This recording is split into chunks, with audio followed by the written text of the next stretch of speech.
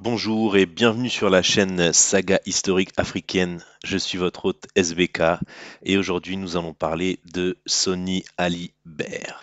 Sans plus tarder, nous commençons cette vidéo avec une citation. J'ouvre les guillemets. Quant à ce tyran, ce scélérat célèbre Sonny Ali, c'était un homme doué d'une grande force et d'une puissante énergie.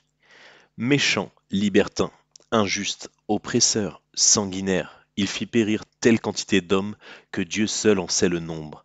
Il persécuta les savants et les pieux personnages en attentant à leur vie, à leur honneur ou à leur considération. Je ferme les guillemets. Ainsi commence le chapitre dédié à Sonny Alibert dans le Tariq es-Soudan, la chronique historique d'Abderrahman Ben Abdallah es-Saadi, un éminent touléma tombouctien du XVIIe siècle. La plume du lettré de Tombouctou est dure à l'égard du roi à l'origine d'un des plus grands empires africains, euh, le Sonrail. Pourtant, elle donne de précieuses informations sur le règne, les guerres, les choix stratégiques et les succès de ce conquérant.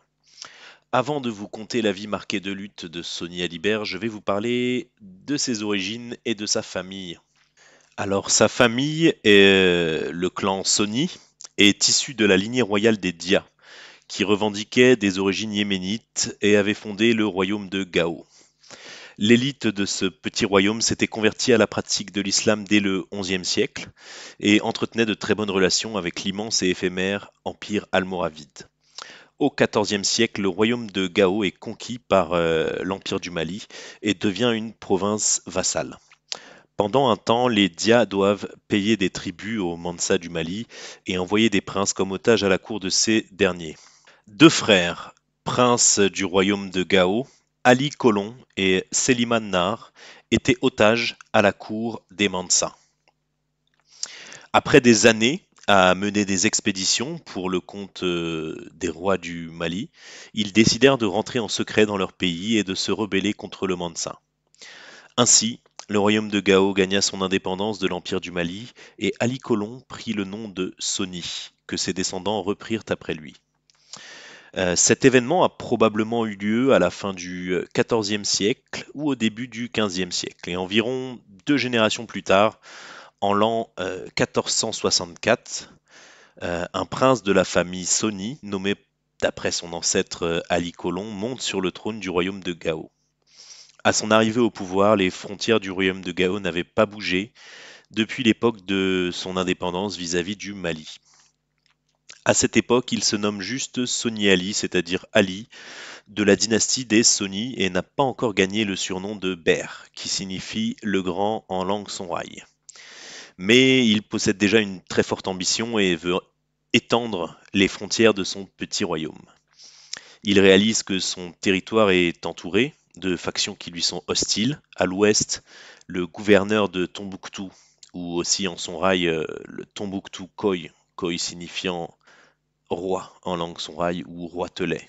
C'est libéré du joug des Mansa du Mali depuis plus de trois décennies et s'est mis sous la protection des Touaregs Magéaren, euh, mentionnés dans le Taïk Soudan, qui pourraient être euh, des, des, Touaregs Imragen euh, tels qu'on les connaît actuellement dans le nord du Mali.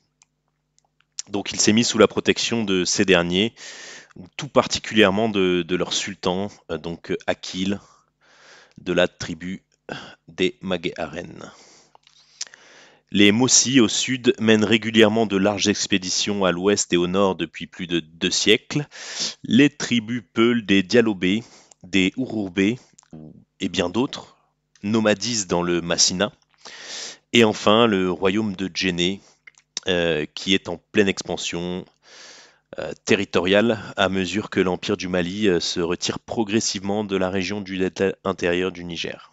Donc la région qui est autour de Djenné et qui, euh, constitue en fait à peu près la, la, confluence entre la rivière Bani ou le fleuve Bani et le fleuve Niger. Alors, revenons donc à Tombouctou et à son gouverneur Mohamed Nadi, qui, d'après la chronique d'Es-Saadi, donc le, Tariq es-Soudan, était un berbère Zenaga, issu d'un lignage noble de la région de l'Adrar, euh, dans l'actuelle Mauritanie, qui a été placé à la tête de Tombouctou par le Mansa du Mali. Alors il avait renoncé à son allégeance envers le, roi du Mali et quelque temps après fut, vassalisé en fait par le chef touareg Akil, dont on a parlé précédemment. Alors donc quand Soni accède au trône de Gao en 1464, Mohamed Nadi est au pouvoir depuis 31 ans dont 27 ans sous la suzeraineté nominale de euh, Akil. En réalité, ce sont les classes de lettrés et le gouverneur qui euh, dirigent la ville. Le chef Touareg se contente de lever des tribus tous les ans, dont il reverse une part euh, au, au Mohamed Nadi. Ce dernier entre en contact avec Soni Ali l'année de son couronnement. D'après Es Saadi, Mohamed Nadi aurait envoyé au roi Sonraï un message plutôt amical, pour lui assurer que Tombouctou ne serait pas une menace pour son royaume et euh, lui demander de ne pas exiger de lui ni d'argent ni l'envoi d'otages à Gao pour euh, garantir la paix entre le royaume Sonrail et la cité des Oulémas à Tombouctou, comme euh, c'était l'usage en ces temps. Dans sa lettre, le gouverneur de Tombouctou précise, pour justifier sa requête, qu'il considère Soni Ali comme un frère et que de tels gages ne sont pas nécessaires entre les membres d'une même famille une habile manœuvre diplomatique de la part du Tombouctou qui évite un casus belli avec euh, le turbulent jeune nouveau souverain de Gao. Entre 1464 et 1467, les premières expéditions de Soni Ali ont probablement eu lieu à l'est de Gao et donnent lieu à la conquête des chefferies du Bara, nom encore porté par une localité en aval de Gao. À la mort de Mohamed Nadi, aux alentours de 1467, son fils Omar lui succède à la tête de Tombouctou. À partir de là, les relations entre le royaume Sonraï et la cité des Oulémas se dégradent. En effet, Omar envoie au souverain de Gao une lettre quasi insultante et provocatrice. Dans cette dernière, il laisse s'entendre qu'il n'a aucun présent à envoyer à Gao, pointant du doigt la pauvreté de son défunt père, mais qu'en revanche il dispose de nombreuses forces, et que ceux qui lui feraient obstacle le regretteraient. Grave erreur de la part du nouveau gouverneur de Tombouctou, d'autant que la bonne entente entre l'élite lettrée de la ville et leur suzerain Touareg Akil vole rapidement en éclats. La plume du chroniqueur Es-Saadi laisse entendre un conflit entre le gouverneur de Tombouctou et le sultan Touareg.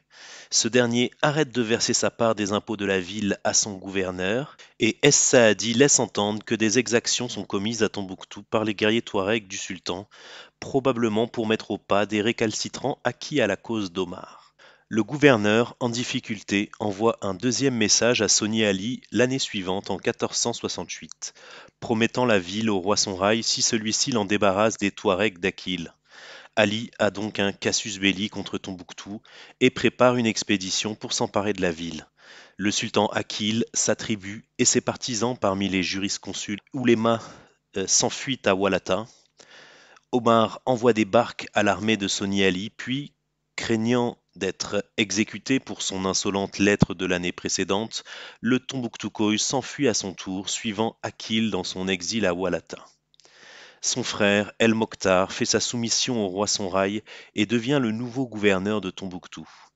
Soni Ali fait son entrée dans la ville le 29 ou le 30 janvier 1468 et laisse son armée piller la cité des Oulémas. Es-Saadi nous apprend que de nombreuses exactions sont commises, des maisons incendiées, un nombre important de personnes tuées. Le roi Sonrail ne fait pas confiance à la caste de lettrés de la ville. Aussi, Soni Ali continue à mettre à mort des oulémas deux ans durant jusqu'en 1470. À cette période, un groupe important d'oulémas fuit Tombouctou pour rejoindre les exilés à Walata. Ali envoie El Mokhtar à leur poursuite à la tête d'un contingent. Les fuyards sont massacrés dans la localité de Tadjit et n'atteindront jamais leur destination. Partant de Tombouctou à la tête de son armée, il va à l'ouest pour y mener campagne. Il soumet les Enaganounous et leur reine Bikun Kabi. Il conquiert les Maures de la tribu des Konta, encore plus à l'ouest. Ses expéditions suivantes lui font soumettre les villes de Diondori, Tenenku et Dia le long de la rivière Diaha, qui se sépare du fleuve Niger à Diafarabé et se jette dans le lac Debo. Il va ensuite mettre le siège devant Djenné, qu'il parvient à prendre après des années de blocus autour de la ville. il épouse la mère du jeune roi de Djenné pour légitimer sa conquête. Il va ensuite rasier le territoire du clan Peul des Sonfo, aussi appelé Sonfotir dans la chronique, dont il ramène un nombre important de captives qu'il offre par la suite aux oulémas qui lui sont loyaux. Il est dit que Soni Ali est de retour au port de Kabara, près de Tombouctou, en 1477. Il contrôle à présent la boucle du Niger, le delta intérieur, ainsi que la région des lacs à l'ouest de Tombouctou. Il tire des bénéfices du commerce transsaharien, de la route commerciale entre Walata et Tombouctou, ainsi que de la voie fluviale du Niger. Durant l'année 1477, un puissant roi Mossi traverse le Gourma et arrive dans la localité de Sama, dans le Bindougou, rasiant et dispersant les populations sur son passage. D'après le Tariq es-Soudan, il se nomme Nassira, et il est possible de penser qu'il ait porté le titre royal Mossi de Naba. Certains historiens voient en ce roi Mossi le Naba Nasbiré de la tradition orale. On ne sait pas beaucoup de choses des motivations du roi Nassira, mais on peut imaginer, au vu de la suite des événements, que la taille de son armée devait être considérable. Peut-être s'agissait-il d'un immense mouvement de population, mais l'hypothèse d'une campagne de conquête, ou tout au moins d'une razzia de très grande envergure, n'est pas exclue. Toujours est-il que trois ans plus tard, et non sans avoir ravagé sur son passage les territoires nouvellement conquis par Soni Ali, durant l'été 1480, le Naba met le siège devant Walata et s'empare de la ville en seulement un mois. Walata, aussi appelée Biro, est une ville située en actuelle Mauritanie, et depuis longtemps les habitants de cette ville et ceux de Tombouctou sont des alliés commerciaux et partagent des liens familiaux les opposants tombouctiens à Soni Ali ont trouvé refuge à Walata dès la prise de leur ville par les Sonraï. On ignore pourquoi Soni Ali n'a pas réagi durant les trois années où les Mossis ont traversé son territoire et rasé les marches sud de son royaume, entre 1477 et 1480.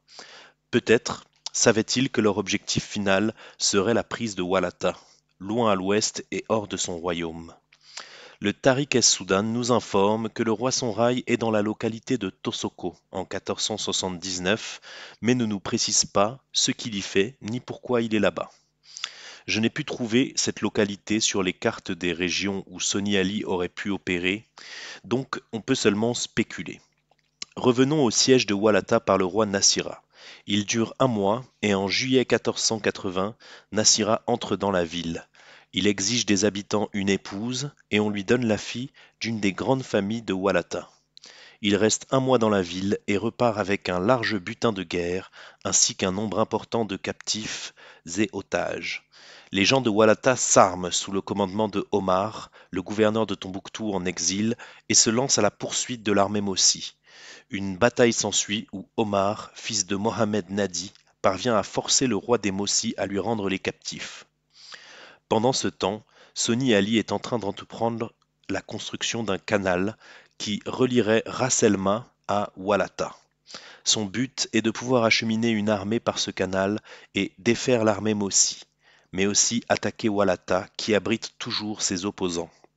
Il supervise le chantier en personne puisqu'il est dans la localité de Fenes quand il apprend que le Naba Nassira a quitté la région de Walata et va traverser une fois de plus son territoire.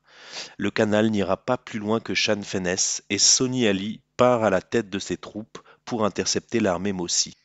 La grande bataille tant attendue par Soni Ali n'arrivera que trois ans plus tard, alors que les troupes Mossi viennent de traverser le fleuve Niger dans la localité de Kobi, en aval de Djenné et en amont de Tendirma.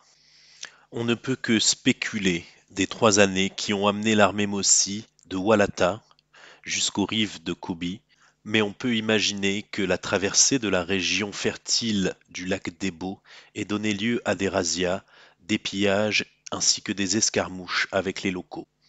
C'est donc à une localité à quelques kilomètres de Kobi que la confrontation a lieu entre l'armée Mossi qui vient de traverser le fleuve et l'armée de Soni Ali qui avait probablement traversé plus au nord à Nyafunke ou à Tendirma coupant ainsi toute possibilité de retraite pour leurs ennemis. Voici comment Es-Saadi raconte la bataille. J'ouvre les guillemets. Se portant ensuite à la rencontre du roi du Mossi, Soni Ali prit contact avec lui à Jinikitooi, bourg situé près de la ville de Kobe en arrière du fleuve. La bataille s'engagea en cet endroit et Soni Ali vainqueur mit en fuite le roi du Mossi et le poursuivit jusqu'à la limite de ses États, sur le territoire desquels il pénétra. Cette bataille eut lieu en l'année 888, entre parenthèses 1483. Je ferme les guillemets. Après la bataille, Soni Ali part camper à Diré. Il se met ensuite en marche contre le pays des montagnes de Doum qu'il conquiert en 1484. Les montagnes de Doum, mentionnées dans le Tariq es-Soudan, semblent désigner la région montagneuse autour de Douenza. En 1485, Soni Ali est de retour à Kabara et fait même renforcer la muraille de la ville.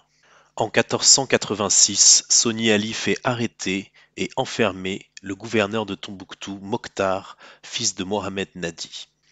Les relations entre Soni Ali et les oulémas de Tombouctou ne se sont pas améliorées avec le temps.